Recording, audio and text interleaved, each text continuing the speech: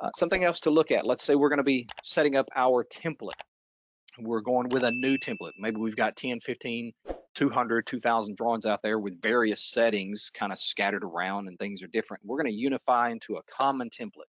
Well, how do we get all these settings from all these other drawings into this template? What's the easiest way to do that? Various ways you can do it, but probably the easiest way is using the design center.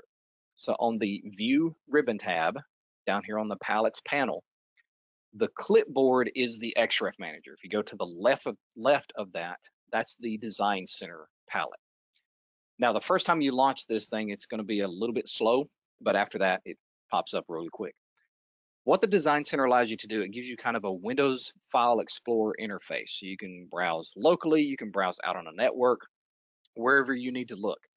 And you can find a drawing, a specific file, and on that file, you get access to some of the contents of that file, such as the various blocks that that file may contain, or different dimension styles, different layers that you might have, uh, table styles, text styles, you get the idea if I look in this particular drawing that I'm working on, the layers that I have are only center lines, column pillars, and dimensions.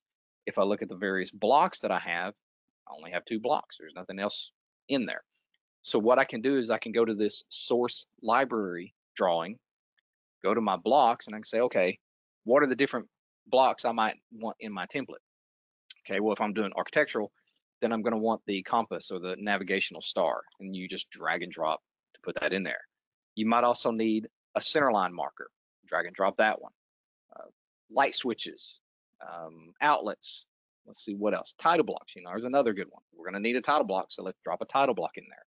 Now, when you drop in a block, if it has any attributes, it's going to prompt you for those attributes. You don't have to fill them out right now. You're just getting that block definition embedded into your new drawing.